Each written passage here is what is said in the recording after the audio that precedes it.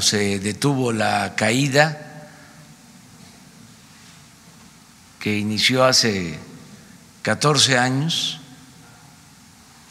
y que el año pasado hizo crisis porque se perdieron 200 mil barriles diarios, así nos entregaron el gobierno con eh, una baja constante en la producción. Para estas alturas íbamos a estar produciendo 3 millones de barriles diarios. Ahí están los documentos, ¿eh? hasta en los considerandos de la ley que se propuso. Y resultó que nos dejaron un millón setecientos mil barriles diarios y en caída libre, en picada. Y no han dicho ni media palabra. El presidente de México, Andrés Manuel López Obrador, afirmó que inició la recuperación de la producción petrolera y que es exitosa la estrategia implementada por su gobierno para rescatar Pemex. Muy responsable lo que hicieron. Entonces, eh, afortunadamente, ya este asunto se está atendiendo y está saliendo bien. Eh, hemos tenido suerte porque eh, se está eh, encontrando petróleo, es decir, hay nuevos descubrimientos, los campos que se están trabajando están resultando muy productivos, estamos invirtiendo bien. Dijo que el éxito de la estrategia tiene que ver con la inversión en los campos del sur del país.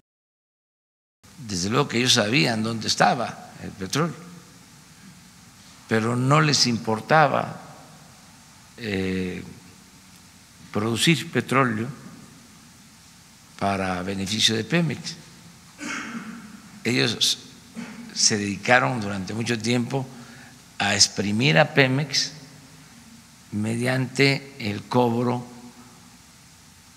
por contratos. No hay que eh, dejar de tomar en cuenta, no olvidar que engañaron los tecnócratas y los que se dedicaban al tráfico de influencias, los, que se sentían dueños de México, sus voceros, sus expertos, engañaron eh, diciendo de que la reforma energética era la panacea. En su conferencia de prensa matutina, afirmó que ahora se impulsa la inversión pública para aumentar la producción petrolera, para convertir a Pemex en poco tiempo en la palanca de desarrollo nacional. Y con esos excedentes que nos dé Pemex para mediados del gobierno, eh, vamos a tener recursos para apoyar sobre todo el campo. Vamos a sembrar el petróleo.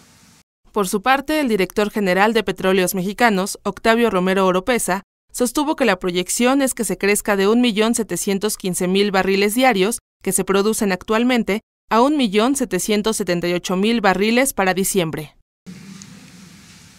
Estamos eh, previendo que para finales de diciembre, los últimos días de diciembre, estemos por arriba de 1.800.000 barriles y con esa producción iniciar lo que sería el el próximo año, el, 2020. Entonces, bueno, este es, la, este es el comportamiento.